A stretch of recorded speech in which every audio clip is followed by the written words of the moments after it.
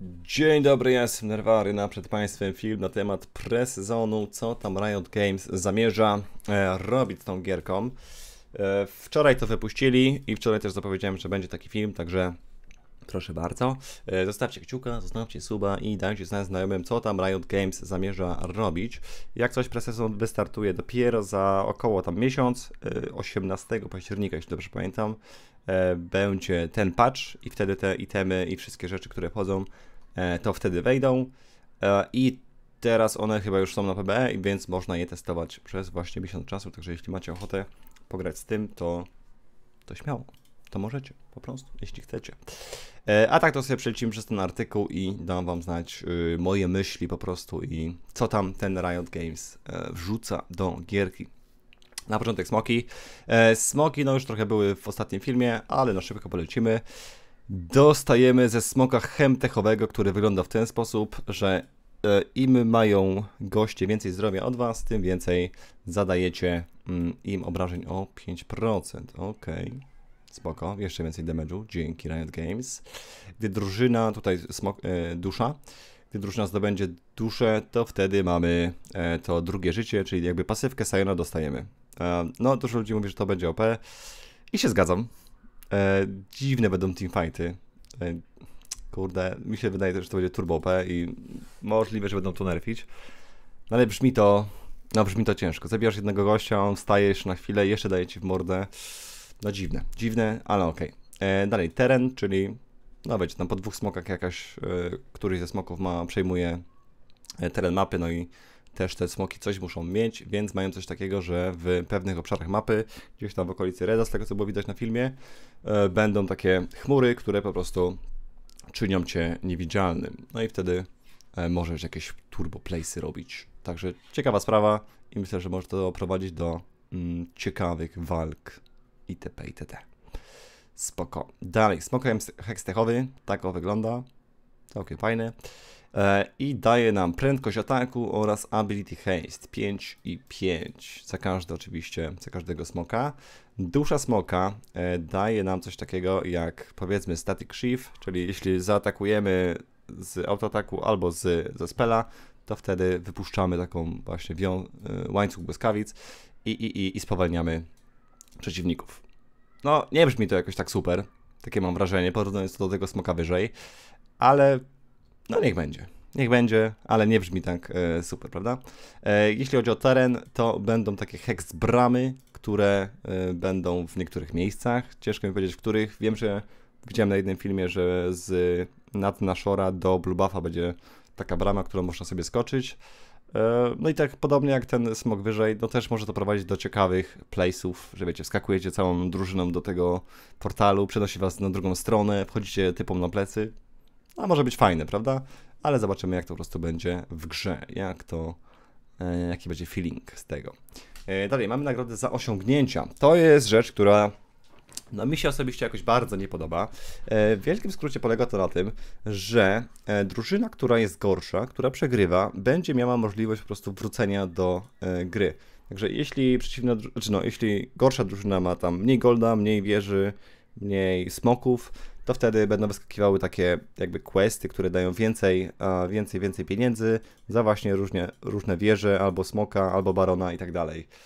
No, ja nie jestem fanem osobiście. No, jakby po to ktoś się stara od samego początku gry i kontroluje grę, żeby być lepszy. No, nie wiem, no mi się to po prostu nie podoba. E, wiadomo, zobaczymy jak to będzie w samej grze.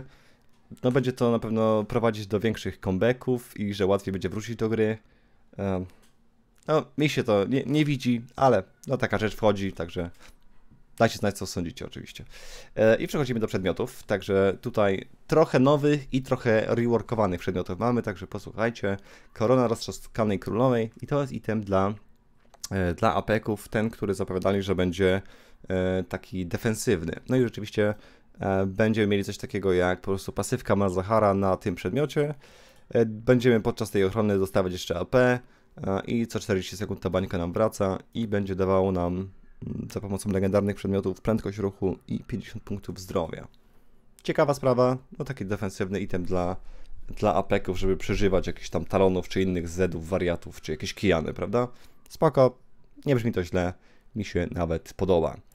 E, dalej, zasłona równości. To jest item dla, e, dla supportów. E, statystyki ma chyba takie same jak Locket i działa w ten sposób, że po unieruchomieniu bohaterów lub padnięciu ofiarą unieruchomienia nakłada na cel oraz pobliskich wrogów pokutę, zwiększając odnoszone przez nich obrażenia o 12%. I dostajemy też z tych tam legendarnych 5 pancerza i 5 odporności na magię. E, I tutaj no, po prostu jest to e, agresywniejsza wersja Loketa. Jakby Loket daje shielda dla swoich teammateów, jest defensywny, a to po prostu jest ofensywny Loket, tak bym go nazwał na tej zasadzie. Także wszystkie jakieś Leony, Nautilusy, jeśli nie potrzebujesz defensywy, tylko chcesz ofensywę grać, to bierzesz sobie ten przedmiot. Spoko, fajna opcja, e, mi się podoba jak najbardziej. Teraz mamy dwa itemy, które są e, dla tanków, czyli budowane z tych, tego Bami Cinder, te, te płomienie i ogólnie zmieniają tylko dwie rzeczy, jeśli chodzi o te przedmioty. E, tutaj jak jest to lodowe pole, które się tworzy przy tej rękawicy mroźnego ognia, to będę, będzie to pole zadawać jeszcze obrażenia, poza tym, że są spowolnieni. Także taka mała zmiana. Po prostu więcej damage'u dla tanków, można powiedzieć.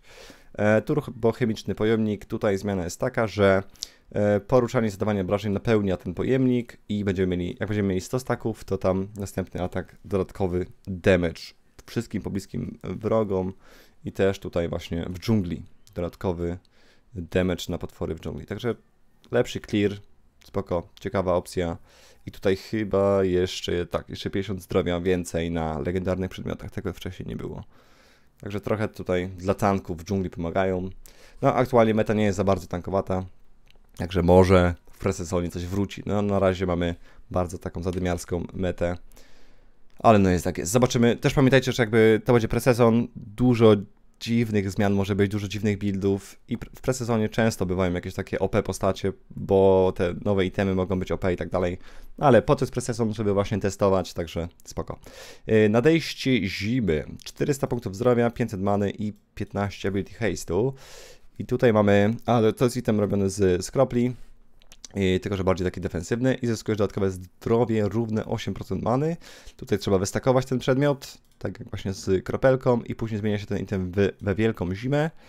Staty takie same, tylko tutaj 360 many więcej i, i, i dostanie coś takiego, że unieruchomienie lub spowolnienie wrogiego bohatera zużywa 3% bieżącej many posiadacza przedmiotu oraz zapewnia tarczę pochłaniającą obrażenie na 3 sekundy.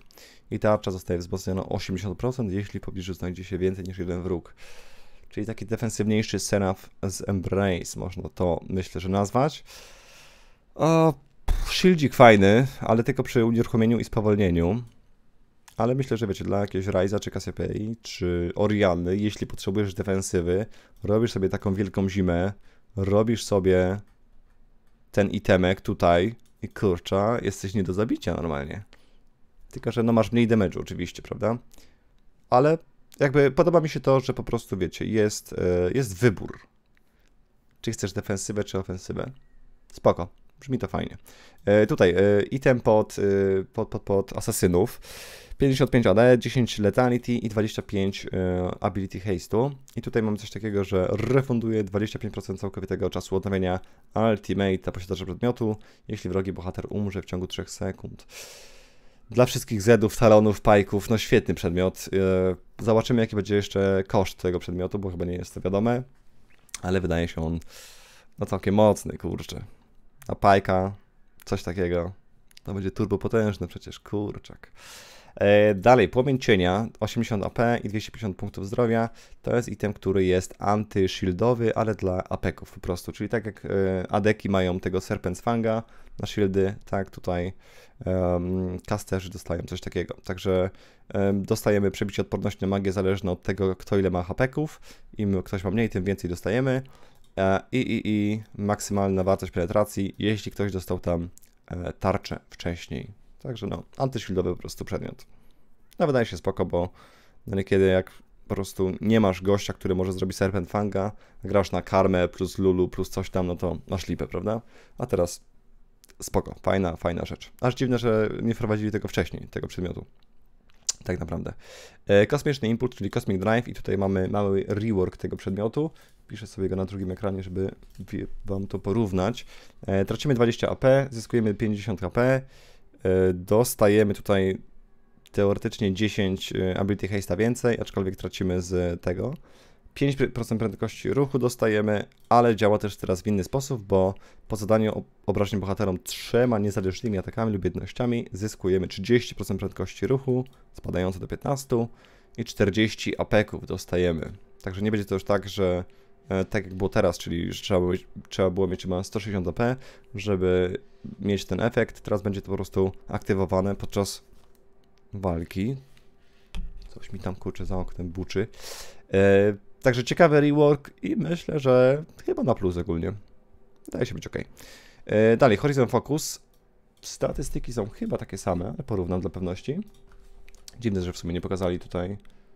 O, nie pokazali, o, o, jak było wcześniej. Ok, dodali 5 AP i dodali jeszcze 150 punktów zdrowia. Ok, spoko. E, I dodali to, że spowolnienia aktywują skupienie horyzontalne. Także na niektóre postacie więcej można to śmiało sobie budować. Spoko. Może to być ok. Aczkolwiek to jest bardzo taki item, który rzadko się buduje ogólnie. Mało postaci to gra. Na pewno gra go Zoe, tego jestem pewien. A tak to poza tym, to nie wiem w sumie kto to gra. Bardzo rzadko ten item się gra. E, dalej, demoniczny uścisk. E, 60 punktów e, AP i do tego 40 punktów zdrowia. To jest ten Demonic Embrace, e, to jest rework oczywiście. E, zadawanie obrażeń za pomocą umiejętności pod pana wrogów, przez co otrzymują oni obrażenia magiczne. 2, 1, 2. Czyli to jest dla mele, to jest dla range'ów co sekundę. Ok. No czyli to jest chyba to samo, co było.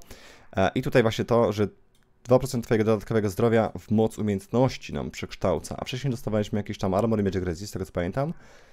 Ciekawa zmiana. Yy, dla Mordekaisera to na pewno jest spoko. Dla Singeda też to jest spoko pewnie. I tyle? Może coś by się jeszcze znalazło, ale wydaje się to być całkiem całkiem ok. E, uścisk Serafina, czyli z skropelki przedmiocik, e, trochę to zmieniają, bo tam wyżej mieliśmy właśnie tamten item poprzedni, jakkolwiek on się nazywał. Zyskujesz przyspieszenie umiejętności równe 1,3 dodatkowej many, czyli ability haścik, spoko. Zdrowie równej 40% wydanej many, maksymalnie coś tam, coś tam. To jest jakby efekt y, Rod of Ages, który, ten item, który był rok temu wyrzucony. Teraz wrócili to na ten przedmiot, więc no, ciekawe trochę po prostu więcej takiego sustainu dla, dla Ryza i dla Cassiopeii. Także no albo masz to, albo masz tarczę. No trzeba będzie tutaj e, decydować po prostu, co bardziej potrzebujesz. Bo tam dostajesz HP, tu dostajesz Ability Haste'a.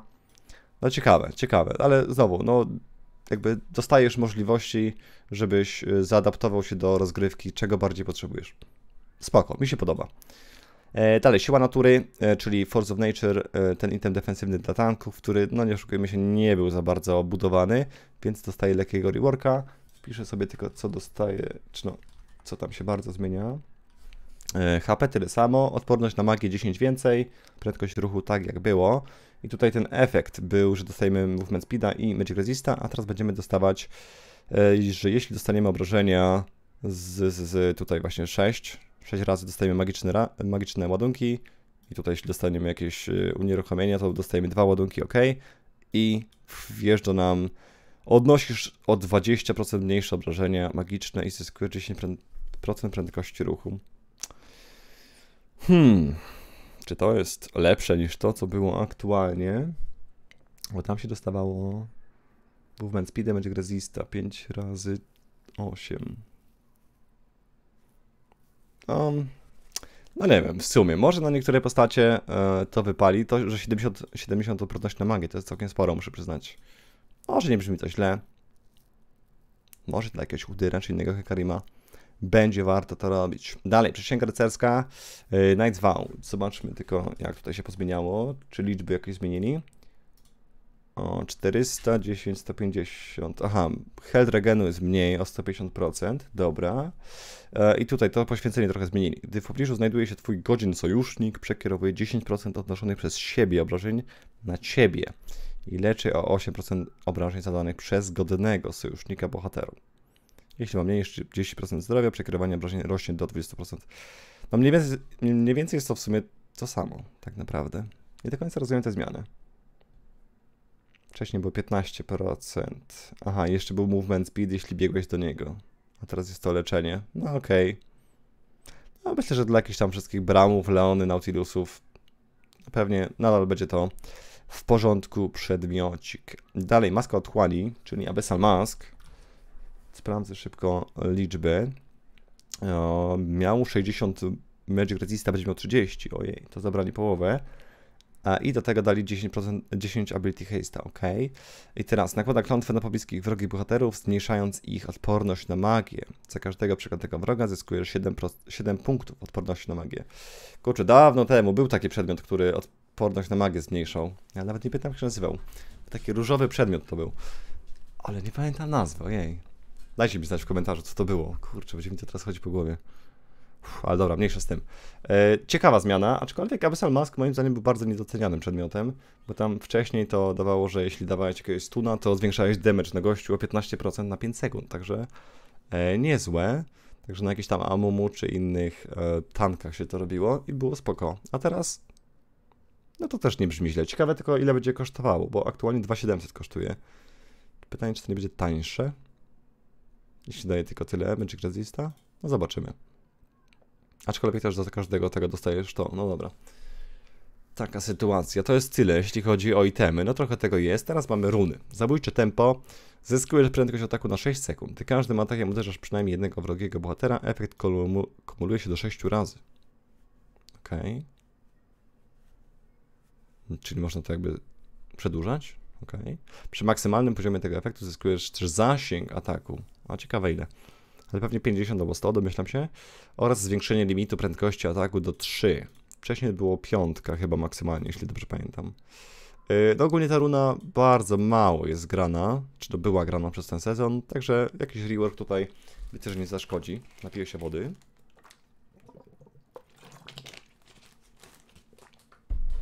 Pamiętajcie, żeby pić wodę, bardzo ważne. Lecimy dalej. Ty, no ciekawa ta zmiana, kurczę, tylko no w sumie Conquerora znerfili. No myślę, że na carry niektórych będzie to pewnie grane, no. Nie brzmi to tak źle. Tylko zastanawiam się, czy możesz to przedłużać rzeczywiście, bo ten efekt kumuluje się do 6 razy. Czyli co, na 36 sekund możesz to trzymać? Nie, no, chyba nie. Prawda? No nie wiem, trzeba by to w grze zobaczyć, bo nie widziałem tego niestety.